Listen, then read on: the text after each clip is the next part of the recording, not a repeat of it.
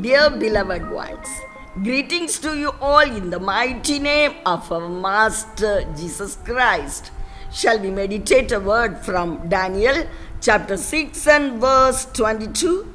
My God sent his angel and he shut the mouths of the lions. They have not hurt me because I was found innocent in his sight, nor have I ever done any wrong before you, your majesty.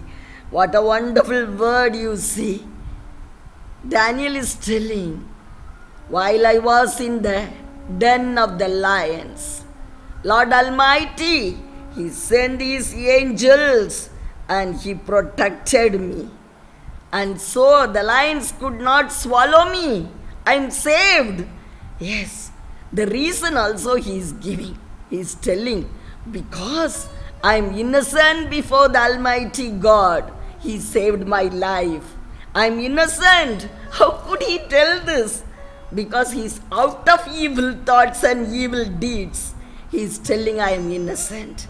God loves innocent people and He loves to be with innocent people, dear ones, in my life also. When I came for ministry, I used to be very innocent. I loved Jesus like a mad woman and I loved him above everything. And even I gave the name for my CD in Asai Nirdanaya because of the mad love I had for my master.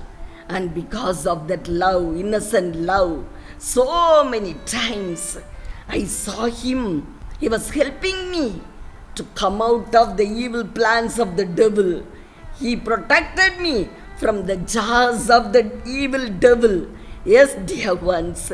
Another thing also I want to tell you. Daniel is telling Almighty God, He sent His angels to protect me. Yes, God sends His angels for the sake of the innocent people. There is a secret in the movement of the angels, you know. Angels, all the time, they can move in the innocent atmosphere, but they cannot act in the atmosphere of wickedness. Yes, dear ones, what is wickedness?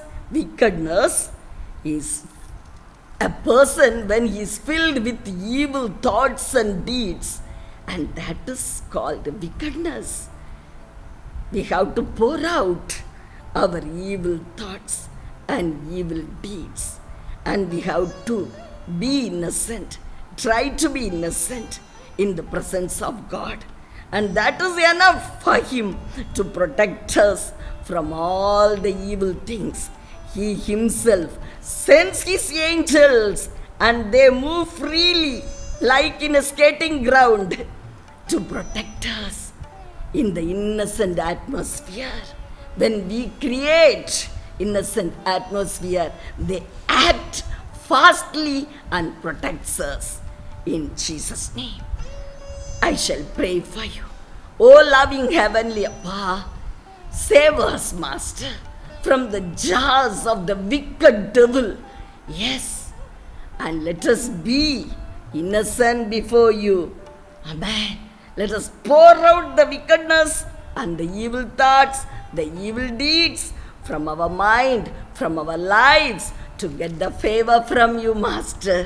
In Jesus' name, Amen. Amen. Beloved ones, do not forget to subscribe this channel and please don't miss to see the daily devotions and praise God every day.